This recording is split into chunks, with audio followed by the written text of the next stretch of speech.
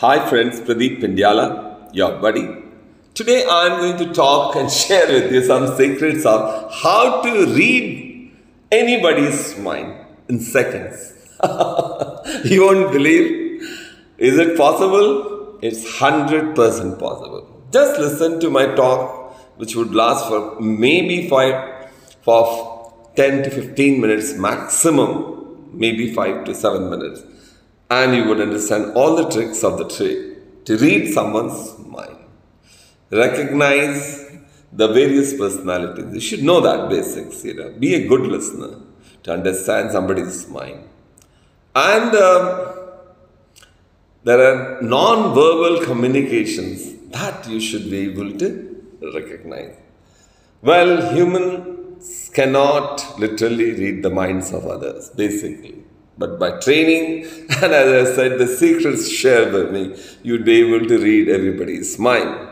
You can create mental models so as to effectively intuit people's thoughts and feelings. This is known as empathic accuracy. Empathic accuracy.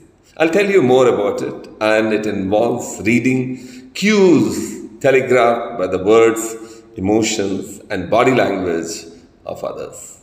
Now, I was talking about cognitive empathy. Let me explain. Uh, around two decades ago, scientists in the University of Cambridge developed a test known as cognitive empathy. That's the secret of reading the mind through the eyes. It's also known as eyes test. This revealed that people can rapidly interpret what another person is thinking or feeling from looking at the eyes. That's all. Just look at the eyes and you could make out many things. Now, what are the th- things like? Firstly, you should be open minded. Pay attention to appearance of the person whom you are trying to read. Pay attention to his or her posture.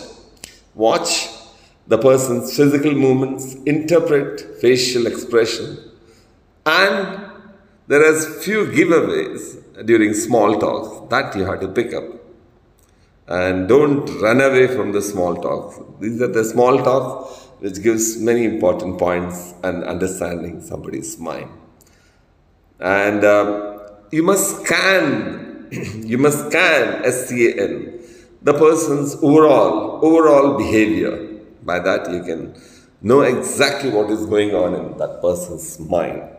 Mind power is very strong power. The power of thoughts, mind power is one of the strongest and most useful powers you can ever possess. And I'm going to give you that for free.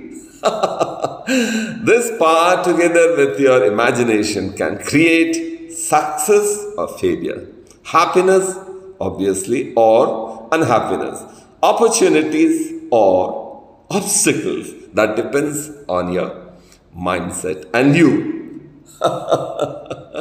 well, uh, you should know the basic emotions. What are these basic emotions of human? Fear, anger, joy, sad, contempt, disgust, and surprise. But these basic emotions Fear, anger, and joy, sadness, disgust, and surprise, they are slightly different from others. Okay? With passion, excitement, and acceptance.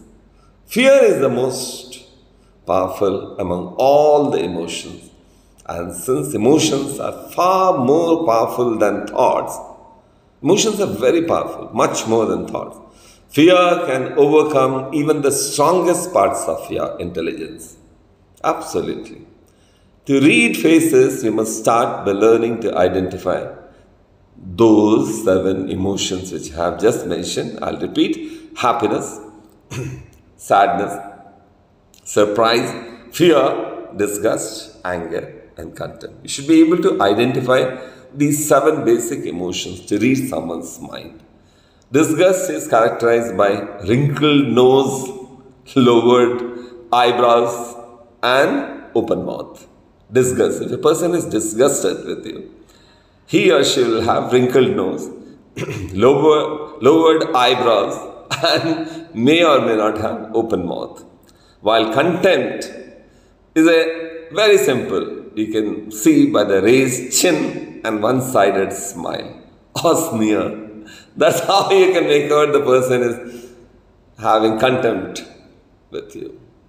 Do not shame people when they make mistakes. And uh, be vulnerably honest. See, that's very important when you're dealing with knowing the person well. You should have use levity. Levity means amusement. That's very important. And never ever use dark psychology, please. Dark psychology, be, be away from dark psychology. What is it? This phenomenon by which people use tactics of motivation, persuasion, manipulation, and coercion. That's please don't do that for God's sake.